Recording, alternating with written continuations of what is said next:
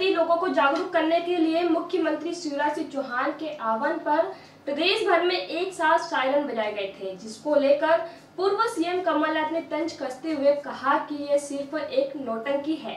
थाली बजाने, ताली बजाने या सायरन बजाने से कोरोना भागने वाला नहीं है।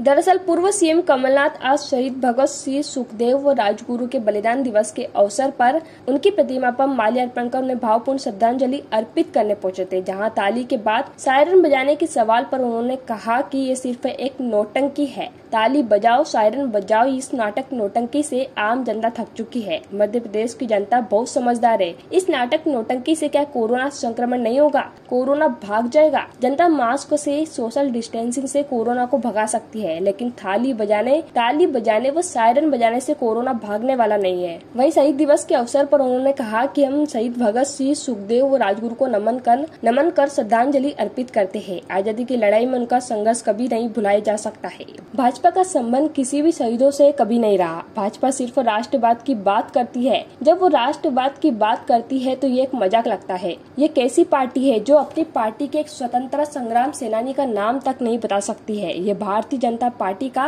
नाटक नौटंकी। थाली बजाओ, सायरन बजाओ, चिल्लाओ। ये नाटक नौटंकी से आज जनता थकी हुई है। मध्य प्रदेश का आम जनता बहुत समझदार है। मुझे उन पर पूरा विश्वास है कि इस नाटक नौटंकी से कोविड का इन्फेक्शन क्या दूर होगा। ये तो एक प्रेरणा सब लोगों में आए ताकि जो उनको प्रोटेक्शन करना है मास्क हो जैसे सोशल डिस्टेंसिंग हो वो करते रहें। ये थाली बजाने से सायरन बजाने से थोड़ी ना होने वाला है। ग्वालियर में श्रद्धांजलि अर्पित करते हैं। कांग्रेस के साथ ही ये शहीद जुड़े थे। भारतीय जनता पार्टी का संबंध किसी शहीदों से नहीं रहा।